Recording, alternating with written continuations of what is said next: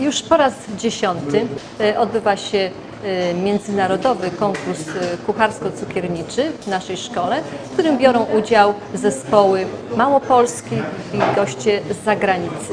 Uczniowie w zespołach dwuosobowych zmierzyli się z tematem dosyć trudnym, bo wariacje, inspiracje muzyczne. Uczniowie przygotowują swoje już dania, mm, zadania konkursowe z dwumiesięcznym y, wyprzedzeniem, otrzymują temat zadania i w temacie było wykonanie tortu, ciastek bankietowych, figurek marcepanowych. No i takie podejście, pomysł, jakieś inspiracje własne, przemyślenia, no przekładają się teraz, jak widzimy, na te gotowe już zadania konkursowe.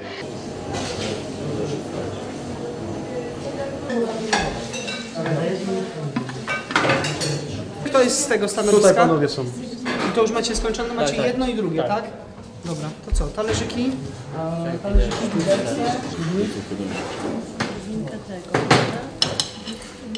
Głównie oceniamy smak, bo to jest przecież jakby najważniejsza sprawa. E, Ale też oczywiście e, oceniamy e, precyzję wykonania, technologię. Bardzo istotną rzeczą są te techniczne umiejętności, manualne, te dotykowe, te, które kucharz e, musi posiąść na samym początku. On oczywiście potem będzie jeszcze zdobywał umiejętności takie e, estetyczne, kreacyjne, bo to przecież kucharz to kreator, kreator tego, co jest na talerzu, tego, to, co jemy. Rozmawiając z jury, no to są zaskoczeni poziomem i przygotowaniem naszych uczniów tutaj z małopolskich szkół y, specjalnych i szkół zawodowych. W młodym człowieku jest w ogóle taka siła, taka moc, e, odwaga. E, I to widać tu, widać tu. Pewne potrawy są naprawdę bardzo odważne. Pewnie my, obciążeni balastem doświadczenia, nigdy byśmy tego nie zrobili, a młodzież to robi i bardzo dobrze. Ta orkiestra sprzęgowa. to robi wrażenie. To już nie jest, e, nie jest małopolski konkurs, przecież to jest konkurs międzynarodowy, bo widziałem tutaj i Czechów, i Słowaków, i Niemców, i Węgrów. To jest pokaz artystyczny to, co widziałem i szkoda, że e, takie pokazy artystyczne e, trzeba zjeść.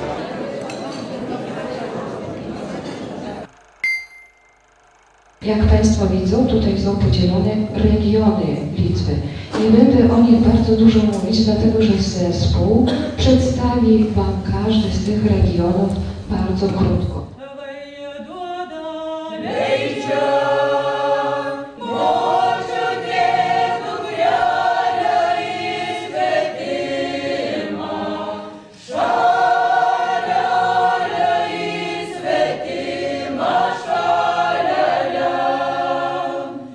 Mėnesį prieš e, visą renginį. Podczas y, dzisiejszego naszego spotkania chcieliśmy przedstawić wszystkie regiony y, Litwy, tak żeby pokazać jak największą różnorodność, a jednocześnie też jakąś taką pewną jedną całość, która stanowi kulturę Litwy.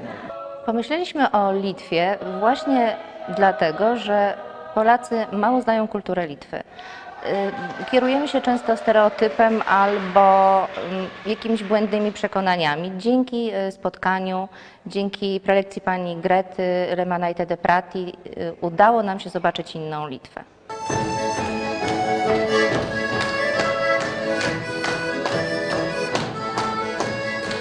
Taka spontaniczność i chęć kultywowania tradycji. U nas to pomału zanika, natomiast tam jest to bardzo żywe, to można zaobserwować. Po prostu oni nie, od, nie tylko odtwarzają te swoje zwyczaje, oni, oni się dalej tak samo świetnie bawią przy tej muzyce, przy tych śpiewach, jak robiono to kiedyś.